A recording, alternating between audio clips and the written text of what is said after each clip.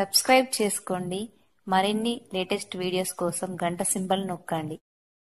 Hi friends మనం ఈరోజు పప్పు చెక్కలు ఎలా చేసుకోవాలో చూద్దామండి. వీటిని గారెలు అని కూడా అంటారు. ఒక్కొక్క సైడ్ ఒక్కొక్కలా పిలుస్తారు. మనం ఈరోజు ఎలా చేసుకోవాలో చూద్దాం. ముందుగా నేను ఈ కప్పుతోటి మూడు కప్పుల బియ్యం పిండి తీసుకున్నానండి. ఇదే కప్పుతో. నెక్స్ట్ వచ్చేసి నేను ఇందులోకి పచ్చిమిర్చి పేస్ట్ చేసుకున్నానండి. కొద్దిగా సాల్ట్ వేసుకొని ఒక నాలుగు పచ్చిమిర్చి తీసుకొని ఇలా పేస్ట్ లాగా చేసుకున్నానండి. కొద్దిగానే వేస్తున్నానండి. కారం ఎక్కువ ఉంటుంది కదా అందుకోసం ఒక హాఫ్ స్పూన్ వరకు వేస్తున్నాను.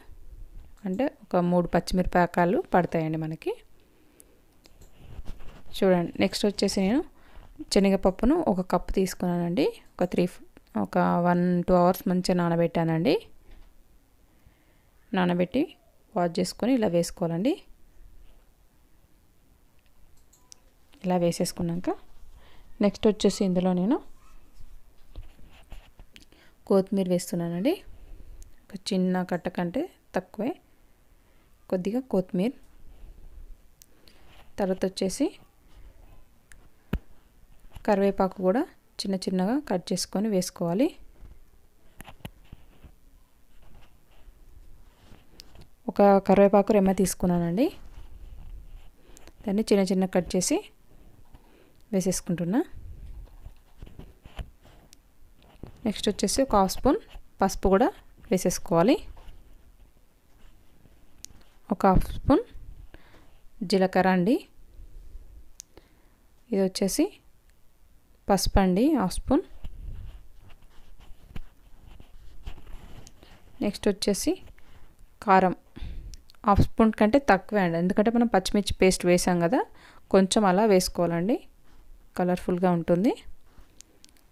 నెక్స్ట్ వచ్చేసి ధనియాల పొడి అండి. పచ్చి ధనియాల పొడి ఒక హాఫ్ స్పూన్ వేసానండి. తర్వాత వచ్చేసి సాల్ట్ టేస్ట్ తగ్గట్టు సాల్ట్ వేసుకోవాలండి. చెక్ చేసుకుంటూ వేసుకోవాలండి. మరీ ఎక్కువైతే తినలేం కదా అందుకోసమే చెక్ చేసుకుంటూ వేసుకోవాలి. ఇలా అన్నీ వేసుకున్న తర్వాత మొత్తం కలిసేలాగా కలుపుకోవాలండి. ఇందులో కొన్ని కొన్ని వాటర్ యాడ్ చేసుకుంటూ మన చపాతి పిండిలాగా కలుపుకోవాలండి. చూడండి ఇలా వాటర్ యాడ్ చేసుకుంటూ ఇలా కలుపుకొని కొద్దిసేపు పక్కన పెట్టేసుకుందాం.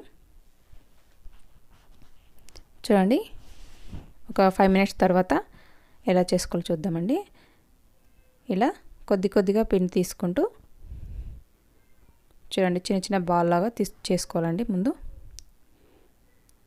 ఇలా చేసుకొని ఒక పాలిథిన్ పేపర్ ఉంటుంది కదండి కవర్ ఉంటుంది కదా ఆ కవర్ పైన ఆయిల్ అప్లై చేసి ఇలా కొద్ది కొద్దిగా మనం పిండి తీసుకుంటూ చిన్న చిన్నగా అప్పాల్లాగా చేసుకోనండి చూడండి ఇలా. చాలా ఈజీ అండి. ఇలా చేసుకుంటూ ఫ్రై చేసుకోవడమే ఇలా అన్నీ ఇలా చేసుకోవాలండి. నెక్స్ట్ మనం డీప్ ఫ్రైకి డీప్ ఫ్రైకి సరిపడా ఆయిల్ పెట్టేసుకుందాం. ఆయిల్ వేడెక్కిన తర్వాత ఒక్కొక్కటిగా వేసేసుకుందామండి ఆయిల్లో. ఇలా ఒక్కొక్కటిగా వేసుకుంటూ ఇది కూడా మీడియం ఫ్లేమ్లో పెట్టుకొని ఫ్రై చేసుకోవాలండి. హైలో అస్సలు పెట్టొద్దు. ఎందుకంటే మనకు మంచిగా ఫ్రై అవ్వవు. చూడండి ఇలా రెండు వైపులా మంచి కలర్ వచ్చే వరకు ఫ్రై చేసుకోవాలండి. క్రిస్పీగా అయ్యే వరకు ఫ్రై చేసుకోవాలి.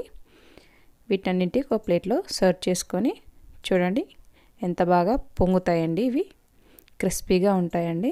ఈవినింగ్ స్నాక్స్ లాగా తినొచ్చు. ఇలా మధ్యలో హోల్ కూడా చేసుకోవచ్చండి. చూడండి ఎంత క్రిస్పీగా ఉన్నాయో. మీకు నచ్చినట్లయితే తప్పకుండా ట్రై చేయండి లైక్ చేయండి షేర్ చేయండి. సబ్స్క్రైబ్ చేయడం మాత్రం మర్చిపోకండి.